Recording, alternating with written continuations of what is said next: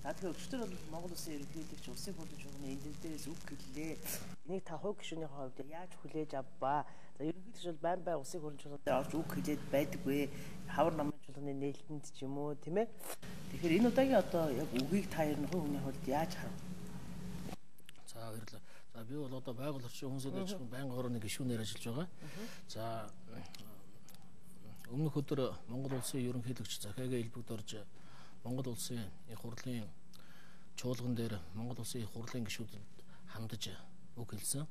За мэдээж энэ хэлсэн үг нь бол 2014 онд хийсэн ажил за улс төрийн эдийн засгийн нөхцөл байдлын талаар өөрийн дүгнэлт за мөн одоо цаашид хэрэгэх талаар өөрийнхөө байр суурийг бол илэрхийлсэн байгаа. За миний хувьд харж байхад бол Монгол улсын ерөнхийлөгч Монгол улсын их хуралд Монгол улсын улс төр тулгарч байгаа э, тулгараа шийдэх шийдэл хүлээж байгаа юм чухал чухал асуудлууд дээр бол өөрийнхөө байр суурийг илэрхийлж бас шийдлийг гаргаж хэлсэн гэж би хувьдаа ойлгож байгаа. За хамгийн гол асуудал бол Монгол улсын их хурлын гишүүдийн улс төрийн хариуцлага, ёс зүй ийм одоо чухал зүйл байгаа юм л да. За одоо тэр яриул одоо асар их одоо энэ өргөн хүрээтэй асуудал байгаа. Тэгэхээр би бол одоо 2 3 хаан зүйл дээр бас өөрийнхөө байр суурийг бас илгээд хэлж гэж бодож байгаа юм л да. Тэгэхээр эдийн засгийн хямрал за үүнтэй уялдуулаад улс төрийн хямрал байгаа юм л да. Зөвхөн улс төрийн хямрал гэж хэлэхээр өнөөдөр одоо засаг төр бүгдээрээ төхнөд явж байна, бүх намууд нэгдээд явж байна. Одоо болж байна гэж ойлгох байх л та. А би хувьдаа бол улс төрийн хариуцлага байхгүй хад улс төрийн хямрал бол эзэд бол хажууд нь бол сүйдэрших дагаад явж байгаа гэж би өвдө харж байгаа. За улс төрийн намууд шийдвэр гаргадаг улс төрийн намууд шийдвэр гаргаад түүнийг биелүүлэх тал дээр хариуцлагагүй ханддаг. За мөн улс төрийн намууд шийдвэр гаргахдаа хариуцлагагүй шийдвэр гаргадаг ийм ноцтой зүйлүүд байна л да. Тэгэхээр миний хувьд бол харж байхад улс төрийн намын хариуцлага гэж одоо ер нь юу ярих юм бэ? Жишээлбэл улс төрийн намууд бүгдээрээ бэлэн мөнгө тараах асуудал санаачлал явж байсан тийм. За энэ бол тухайн үед уулуур хаан эдийн засгийн хөөсрөлийн үед одоо сул орж ирсэн мөнгөн дээр одоо баруун солгоог тарааж байсан асуудал. За үүнийг улс төрийн намууд тухайн үед эдийн засаг бас хүндрэх төлөв ажиглаад ирэх ийм цаг үедээ уялдуулаад цаашид бид бэлэн мөнгө тараах асуудал дээр улс төрийн Монголын улс төрийн намууд бас хариуцлагатай байя. Энэ одоо бэлэн мөнгө тараах асуудлыг бас амжирахтай болгоё гэдэг юм шийдэл төрж ирсэн. За энэ улс төрийн намуудын хэмжээнд ингэж яриад хэлээд ойлголцоод болж байгаа. Энийг бол одоо бас улс төрийн нам хариуцлагатай альва нэг одоо улс орны хэтийн төлөө ирээдүйтэй холбоотой асуудалд хариуцлагатай хандж байна гэж би хувьд ойлгож байгаа. Нөгөө талаар улс төрийн гишүүний ёс зүйн асуудал улс төрийн их хурлын гишүүний ёс зүйн асуудал улс төрч хүний хариуцлагын асуудал байгаа юм л да. Төрийн өндөр албан тушаалтны хариуцлагын асуудал. Тэгэхээр энэ хариуцлагыг яаж ил тод болгох юм, хариуцлагыг яаж хариуцлага хүлээлгдэг болох уу гэдэг дээр бас Монгол улсын ерөнхийлөгч бас чухал санал хэлсэн. За тэрний үг л мэдээж шилэн дансны хууль. За Монгол улсын ерөнхийлөгчийн санаачилсан шилэн дансны хууль бол яг харахгүй өнөөдөр улсын төсөв төсөв төсөл хэлбэрээр одоо янз янз бүрийн хэлбэрээр одоо зарцуулагдаад одоо гараад явж байдаг. За аудитын шалгалт орсон л гэж хэлдэг. Тайлан хаасан л гэж хэлдэг. Дараа жилийнхаа юм ингээл өмнөх жилийнх нь хаагдаа дараа жилийнх нь явж л байдаг.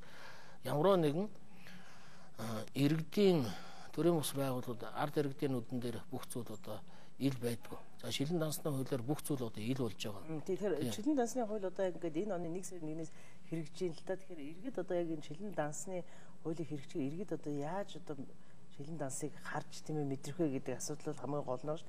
Хууль бол батлагсан за хэрэгжиж ихээсээ тэгэхээр одоо юу гэдэг яам тамган газар цагдаа шүүх прокурор тийм үү бүгд л одоо ер нь онлайн орчинд бүх одоо төсвийнхаа зарцуултыг ил болгооч л гэдэг асуудал тийм бэ. За мэдээж энэ шилэн насны хуулийг хэрэгжүүлэх дүрм журам гэдэг гарсан байгаа. За миний одоо өнөөдрийн авсан мэдээлэл бол шилэн дансны хуулийг хэрэгжүүлэхийн тулд тухайн албан тушаалтан энэ хуулийн дагуу бүх одоо гүйлгээгээ одоо тухайн онлайн хаягаар одоо олон нийтэд дэлхийн хаанаас ч орж болох одоо ийм олон нийт ил байх ёстой. За үүнийг хэрэгжүүлээгүй албан тушаалтанд бол ажлаас нь алах хүртэл арга хэмжээ авах. Энэ бол зөв зүйтэй байгаа. Тэгэхээр одоо төрийн ард түмний татвар төлөөгчдийн асар их улсын мөнгө бол бас төрийн байгууллагуудын хяналтаас гадна Монголын ард түмний хяналтанд шууд орж байгаа маа. За энэ одоо улс төрч бидний хүлээгээд байгаа нэг хариуцлагын асуудал. Хариуцлагын асуудал ингээд хүссэн үсээгүй олон түмний өмнө ил тод болж байгаа. Тэгэхээр төрийн өндөр албан тушаалтанд энэ шилэн дансны хуулийн дагуу ямарваа нэгэн одоо алдаа дутагдал хөрөнгө мөнгөний шамшигтуулсан асуудал гарах юм бол одоо хариуцлагын асуудал яригдж байгаа. За энэ хариуцлагын асуудал бол бид ингээд вэж гисэн сайхан хариуцлага ингээд ярьж байна. Тэгэхээр хариуцлагыг яаж хүлээлгэх вэ гэдэг асуудал байна л да. Төрийн өндөр За тухайн одоо яг би хариуцлагын тухай асуух гэдэг байгаа. Тэгэхээр Монгол ерөнхийлөгч одоо хариуцлагын тухай хэлсэн. Тэгэхээр санаандгүй байсан үг биш ба. Ялангуяа хариуцлага бол одоо төрийн дунд шатанд ч юм уу доод шатанд бол байна. Одоо маш амархан ингээд цомгдох жин, тангар өргөөгөө за ингээд шалтгаан шалтгаан олдоод ингээд тэд хариуцлага тооцогдоод явчих шиг бол явчих шиг ингээд харагддаг тийм ээ. Тэгэхээр яг одоо улсын хурлын 76 гишүүн Монгол Улсын засгийн газрын гишүүн тийм үү төрийн өндөр одоо алба хашиж байгаа өндөр дэд алба хашиж байгаа хүмүүс ерөөсө хариуцлага хүлээдгүй. Энийг л ард түмэн одоо хариуцлагатай болооч л гэдэг асуудал. Одоо улсын хурлынхаа хуралдаанд суудгүй гишүүн байна. Тийм үү? За ажилда цогт уярдаг хүн байна. Сайд байна. Гэхдээ одоо ингээд асуугаад байвал ард түмэн зөндөөс. Яг энэ төвшөнд яах вэ? За зүйтэй. Тэгэд э, Монгол улсын их хурлын гишүүн эргүүлэн татах асуудлыг э, Монгол улсын ерөнхийлөгч бас энэ ихтгэлтэй дурдж ярьсан байгаа. За энэ асуудлыг бол э, Мерсер гişүүд улс төрийн нам өчнүүд бол зүгээр нэг дотроо ярьдаг боловч яг ингээд ухаалаг том төрөөс ухаалаг төрлөө гэдэг шиг олон нийтэд ил тавиад улс төрийн намуудын өмнө одоо ямар хэлбэрээр шийдэх үү шийдлийн хүлээлгсэн ийм хэлбэрээр бол гаргаж тавьж байгаагүй. Тэгэхээр Монгол улсын ерөнхийлөгч Монгол улсын төрийн өндөр албан тушаалтын их хурлын гишүүнийг эргүүлэн татах асуудлыг одоо бас улс төрийн намуудын дунд асуудал болгоод тавьчлаа. Бид бол үүнийг цаашаа бас хилцээд ерөөсө төрийн өндөр албан тушаалтын их хурлын гишүүнд хариуцлага тооцдог болох хэрэгтэй. Тэр нь бол мэдээж эргүүлэн татах асуудал. За эргүүлэн татхад ямар ямар тохиолдолд эргүүлэн татах вэ гэдэг ийм залт байна л да. Тэгэхээр мэдээж одоо төрийн мөнгө шамшигдуулсантай эдсэн авилгал хээлэх олон асуудалд орсон. За мөн ёс зүйн том алдаа гаргасан байх юм бол эргүүлэн татах.